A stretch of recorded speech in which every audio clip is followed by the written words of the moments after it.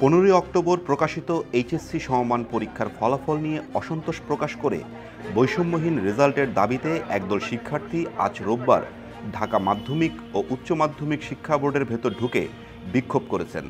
এ সময় তাদের উপর হামলা হয়েছে এবং তাদের মধ্যে বেশ কয়েকজন আহত হয়েছেন বলে দাবি করেছেন তারা।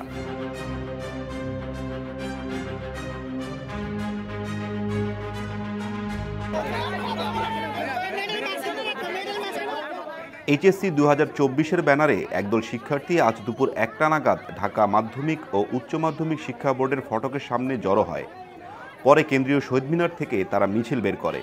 পাশ করা ও অকৃতকার্য হওয়া উভয় ধরনের শিক্ষার্থী এই মিছিলে ছিল।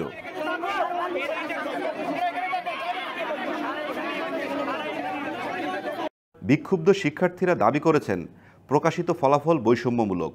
এর জন্য তারা সবগুলো বিষয়ের উপর ম্যাপিং করে নতুন ফলাফল প্রকাশের দাবি জানাচ্ছেন।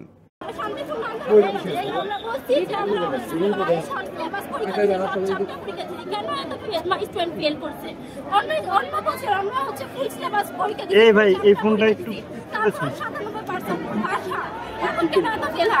সিলেট পরে পরীক্ষা হয় নাই পরে পরীক্ষা হয় নাই তাদের গণহারে পাস আর আমাদের এখানে গণহারে ফেল করানো হয়েছে। আমরা চাচ্ছি যে এইচএসসির মাধ্যমে ম্যাপিং করে আমাদের সকল সাবজেক্ট ম্যাপিং করে রেজাল্টটা দেওয়া হোক। যে রেজাল্টটা দেওয়া হয়েছে, এটা হচ্ছে পুনরায় আবার পাবলিশ করা হোক আর এটা বাতিল করা হোক। এবং একই সাথে আজকে আমরা যে এসেছিলাম দেড়টায়, আসার পরে আমাদের বোর্ড কর্মকর্তা পাঁচতলা আমরা ওঠার পরে তারা হচ্ছে অতর্কিত হামলা চালায়। আমার আমার ভাই বোনেরা হসপিটালে ভর্তি অনেকে মাথা ফেটে গেছে, পা ভেঙে গেছে, হাত ভেঙে গেছে। বোর্ডের কর্মকর্তারা আরেকদিকে দাবি করেছেন হঠাৎ করে কিছু শিক্ষার্থী ভেতরে ঢুকে ভাঙচুর করেছে আর ফলাফল প্রকাশ হয়েছে শিক্ষা মন্ত্রণালয়ের নির্দেশনার আলোকেই। পরে পুলিশ ও সেনাবাহিনীর সদস্যরা ঘটনাস্থলে পৌঁছে শিক্ষার্থীদের সাথে সমঝোতার চেষ্টা করেন।